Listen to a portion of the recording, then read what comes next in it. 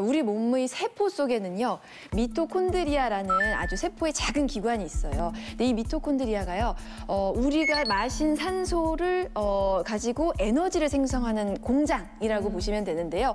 이게 바로 우리 몸이 필요로 하는 에너지를 만들어 주는 곳입니다. 자, 이 시스템을 통해서 우리 몸이 필요로 하는 에너지의 한 95%가 생성이 돼요. 자, 그리고 코엔자임 Q10은요 이 에너지를 생산하는 과정에서 유일하게 이곳 저곳을 이동하면서 에너지를 만드는데 필요한 것들을 전달하는 역할을 합니다. 그러니까 몸이 쓴 에너지를 만드는데 없어서는 안 되는 물질인 거죠. 그래요. 아니 그러면은 미토콘드리아가 에너지 공장이고 코엔자임 Q10이 에너지 공장장이다. 요거죠. 이렇게 정리하면 되는 거죠. 근데 공장은 있으나 공장장이 없으면 공장이 잘 안 돌아가잖아요. 공장장이 간장 있으면 안 공장. 나오는 공장 공장 공장 공장이 있으면 공장장이 없으면은 공장이 안 들어간다. 잘안 돌아가죠. 예. 맞죠. 네. 맞아요. 그런데 이 코엔자임 Q10이 부족해서 세포가 에너지 생산을 못해. 그럼 어떻게? 해? 에너지가 없으니까 우리가 조금만 활동을 해도 금방 피로한 거예요. 아. 자, 이게 지속이 되면 뭐가 됩니까?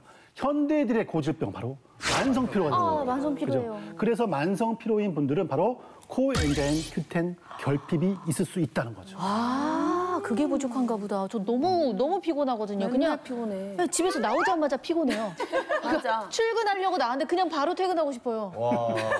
그 정도면 피곤하다 그러면 왜 그거잖아. 뭐, 뭐 영양제 주거나 뭐 그렇죠. 먹은 날과 안 먹은 날 그거 주거나 아니면 코큐텐이라고 해서 네. 보내주기도 해요. 네, 코큐텐. 요즘 그게 그거잖아요. 코엔자임 Q10 지금 얘기하는. 오. 맞아요. 이 코엔자임 Q10의 중요성을 가장 잘 알 수 있는 부위가 있어요. 어, 실제로 우리 몸에서 에너지를 가장 많이 필요로 하는 기관이고요. 체내에서 끊임없이 펌프질을 하면서 전신으로 혈액을 내보내주는 기관이 어딜까요? 심장! 심장! 네. 심장. 펌프질. 맞아요. 심장 이죠. 어, 이 심장은요, 근육이 이제 심장 근육을 계속 움직이게 하기 위해서 이 심장에는 미토콘드리아와 코엔자임 Q10이 많이 분포가 되어 네. 있습니다. 그런데 만약에 이 심장에 코엔자임 Q10이 결핍이 되면 어떻게 될까요?